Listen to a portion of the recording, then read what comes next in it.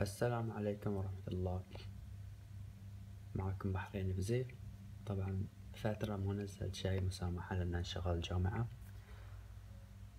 فاليوم موضوعنا عن كيف تبرمج دبابك في البيت. طبعا هو ذي ال box اللي تحتاجه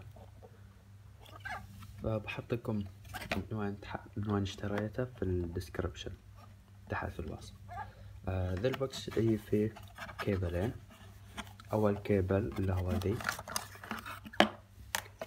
هي الطرف الأول USB تشبكه على اللابتوب والطرف الثاني اللي تشبكه على ال wire الثاني اللي على الدباب طبعا هي نوعين.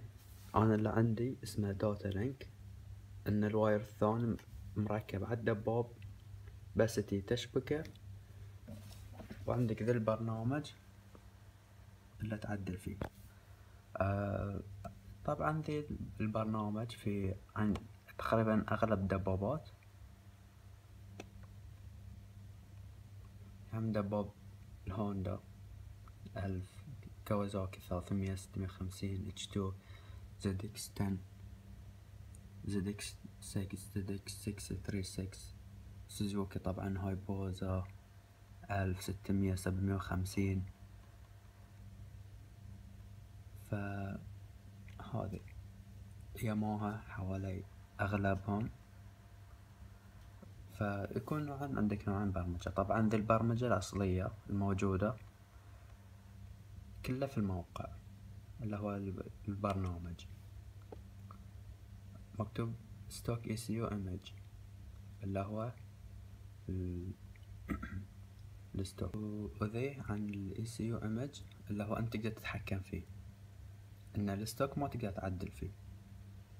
فذي تقدر تتحكم فيه تغير كل شي تبي. وعندك اللي هو third party image. third party ECU image اللي هو معدل من شركة مختصة. يعني عندي حق الياماها Graves Motorsport اللي هو ذي. ذي الشركة اللي معدلين لي حق أكون في ال safe side. نزلت لي من ذي الشركة بس طبعا إيش ال... شو اسمه؟ حق السوزوكي ما في جاهز في طريقة تنزل جدول ال Power Commander وتحطه. فالحين أنا طبعا برمجت الدباب حق كل شي وأعطيكم review أول شي تتحكم فيه اللي عندك ال fan temperature. تتحكم متى تشغل المروحة وتصكها. وعندك speed limiter الفاصلة تشيلها تحطها على كيفك. وال AIS valve اللي هو حق ال backfire تشغلها تصكها براحتك. وعندي default A mode إن كل ما شغل الدباب يكون على ال sport عندي ignition decel cut اللي هو حق ال engine braking يعني إذا هدي الريس الماكينة تخفف سرعتي بسرعة. والعندي ال closed loop اللي هو حق ال sensor oxygen ما يقرأ. وقت البرمجة الكل يفضل إنه ما تخلي ال oxygen sensor يقرأ حق يمشي على الجدول الموجود. فما راح يأثر لأن already الجدول مضبطينه ناس يفهمون يعني وقاضين ساعات حق يعدلون فيه. فتخلي closed loop إن شاء الله كل شي يكون تمام. فالحين راح أراويكم إيش سويت في الدباب وبعد ذي بنروح نقط الدباب على ال dyno ونشوف الشغل صح ولا لا.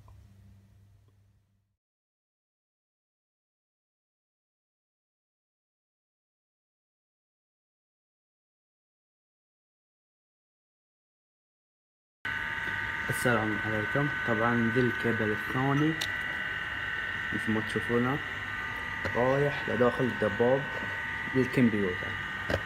حق كل ما أبي أبرمج اشبك الكابل الثاني مكانه وبطل البرنامج وابرمج السلام عليكم ورحمة الله. رجعنا لكم من جديد. آه، برمجت ال- الكمبيوتر اللي هو ال ECU فالحين راح أطقها dyno run. بشيك إذا تعدل ال air fuel ratio. لأنه هو كل شيء في ال tune عن ال air fuel ratio.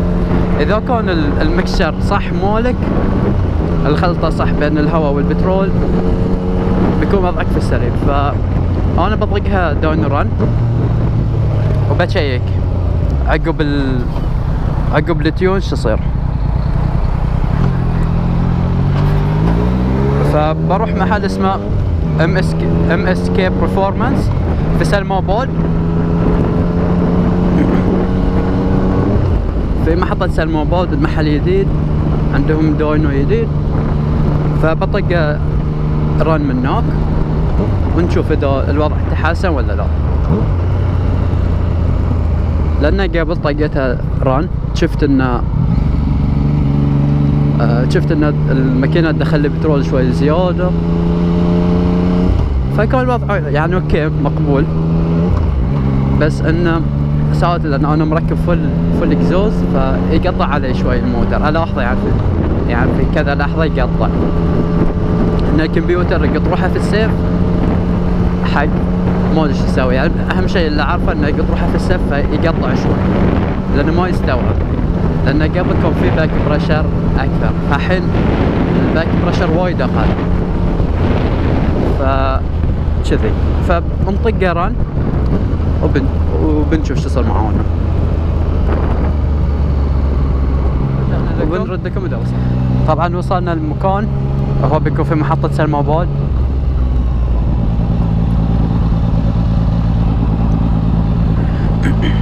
فالحين بنقطع على وبنشيك. وإن شاء الله يطلع الرقم حلو. آه ما يهمنا ال power أهم شيء عند إن ال mixture يكون صح. اللي هو الخلطة مالته. ال air fuel ratio أتمنى يعني يكون 13.1 الحين بنشيك وبنشوف.